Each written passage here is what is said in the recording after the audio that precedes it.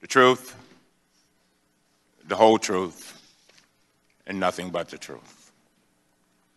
The truth, the whole truth, and nothing but the truth. Madam Secretary, I want to thank you very much for being here today to testify before Congress on this very important issue. This is your third time. This week, our chairman, Mr. Gowdy, was interviewed in a lengthy media profile. During his interview, he complained that he was, and I quote, he has an impossible job. That's what the chairman said, impossible job. He said, is it impossible to conduct a serious, fact-centric investigation in such a, quote, political environment? I have great respect for the chairman, but on this score, he is absolutely wrong. In fact, it has been done by his own Republican colleagues in the House on this very issue, Benghazi. The Republican chairman of the House Intelligence Committee conducted an extensive, bipartisan, two-year investigation and issued a detailed report. The Senate Intelligence Committee and the Senate Homeland Security Committee also conducted a bipartisan investigation. Those bipartisan efforts respected and honored the memories of the four brave Americans who gave their lives in Benghazi. Ambassador Chris Stevens, Sean Smith, Tyrone Woods, and Glenn Doherty. The problem is that the Republican caucus did not like the answers they got from those investigations. So they set up this select committee with no rules, no deadline, and an unlimited budget. And they set them loose, Madam Secretary, because you're running for president. Clearly, it is possible to conduct a serious bipartisan investigation. What is impossible is for any reasonable person to continue denying that Republicans are squandering millions of taxpayer dollars on this abusive effort to derail Secretary Clinton's presidential campaign. In the chairman's interview, he tried to defend against this criticism by attempting to cast himself as the victim. And he complained about attacks on the credibility of the Select Committee. His argument would be more compelling if Republicans weren't leading the charge.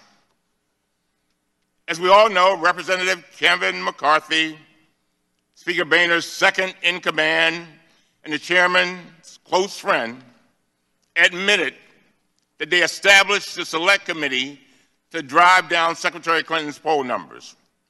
Democrats didn't say that. The second in command in the House said that, a Republican. Republican Congressman Richard Hanna said the select committee was, quote, designed, designed to go after Secretary Clinton. And one of the chairman's own hand-picked investigators, a self proclaimed conservative Republican, charged that he was fired in part for not going along with these plans to, quote, hyper focus on Hillary Clinton, end of quote. These stark admissions reflect exactly what we have seen inside the Select Committee for the past year. Let's just take a look at the facts. Since January, Republicans have canceled every single hearing on our schedule for the entire year, except for this one, Secretary Clinton. They also canceled numerous interviews that they had planned with the Defense Department and the CIA officials. Instead of doing that, they said they were going, what they were going to do, Republicans zeroed in on Secretary Clinton, her speechwriters, her IT staffers, and her campaign officials. This is what the Republicans did. Not the Democrats, When Speaker Boehner established this select committee, he justified it, justified it by arguing that it would, quote, cross ju jurisdictional lines. I assume he meant we would focus on more than just Secretary of State. But, Madam Secretary, you're sitting there by yourself. The Secretary of Defense is not on your left. Director of the CIA is not on your right. That's because Republicans abandoned their own plans to question those top officials. So instead of being cross jurisdictional, Republicans just crossed them off the list.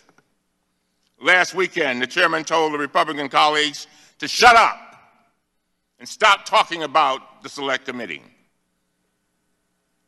What I want to know is this, and this is a key question. Why tell the Republicans to shut up when they are telling the truth, but not when they are attacking Secretary Clinton with reckless accusations that are demonstrably false. Why not tell them to shut up then? Carly Fiorina has said that Secretary Clinton has blood on her hands. Mike Huckabee accused her of ignoring the warning calls from dying Americans in Benghazi. Senator Rand Paul said Benghazi was a 3 a.m. phone call that she never picked up. And Senator Lindsey Graham tweeted, Where the hell were you on the night of the Benghazi attack? Everyone on this panel knows these accusations are baseless from our own investigation and all those before it. Yet, Republican members of this select committee remain silent. On Monday, the Democrats issued a report showing that none of the 54 witnesses the committee interviewed substantiated these wild Republican claims.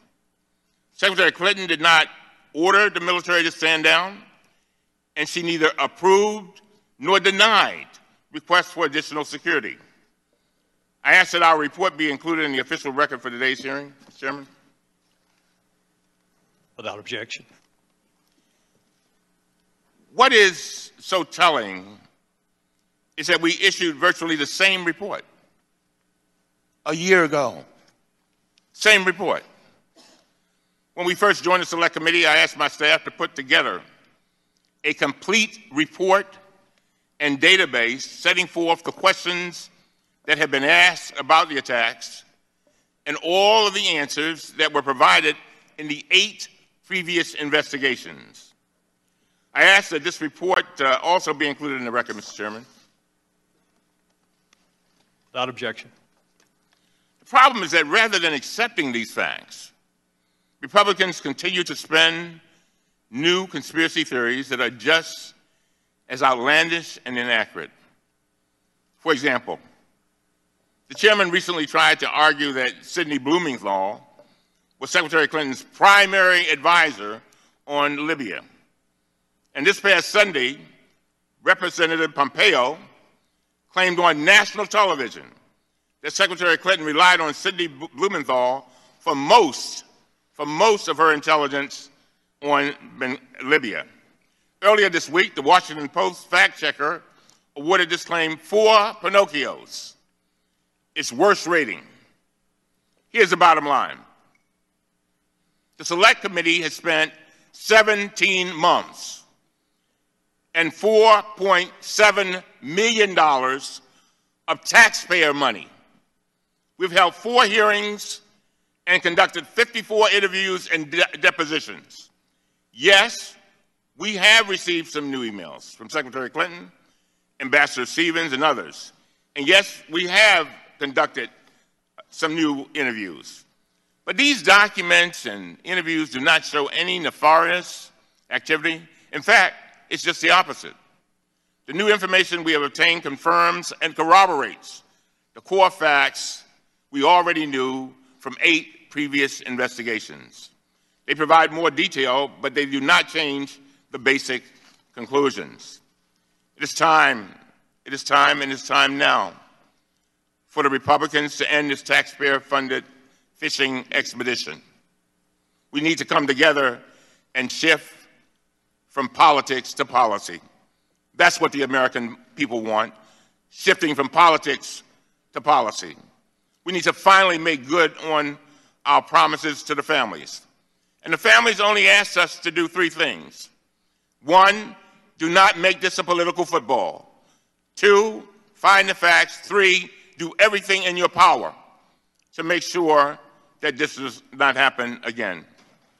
And so we need to start focusing on what we here in Congress can do to improve the safety and security of our diplomatic corps in the future. And with that, Mr. Chairman, I yield back.